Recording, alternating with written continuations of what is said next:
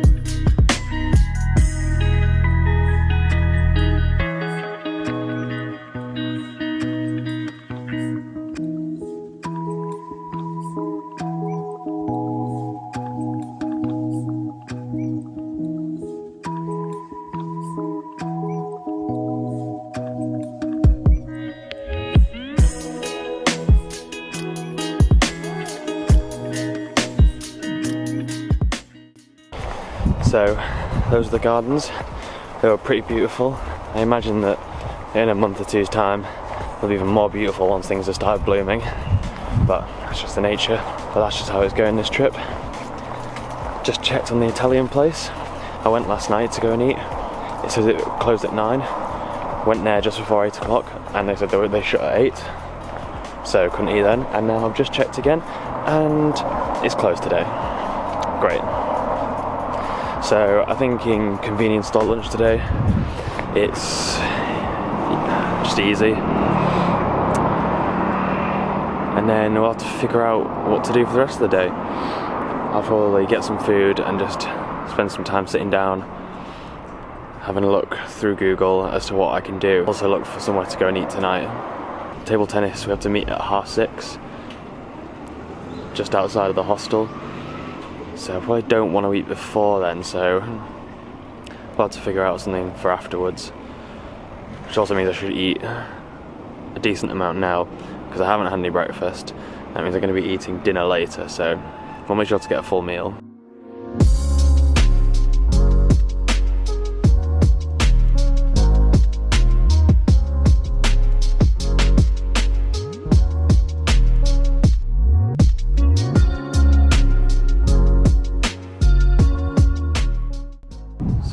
Nice quiet spot just outside the castle. Got a spread of food for lunch. So I'm gonna eat this, listen to some more of my audiobook, and then we'll have a think about what we're doing next. So I've just had a look and there is fuck all to do here. Anything in the surrounding area is too far away to get to in the time that I've got. And the hostel doesn't open back up again until 4. It's currently just gone 2 o'clock.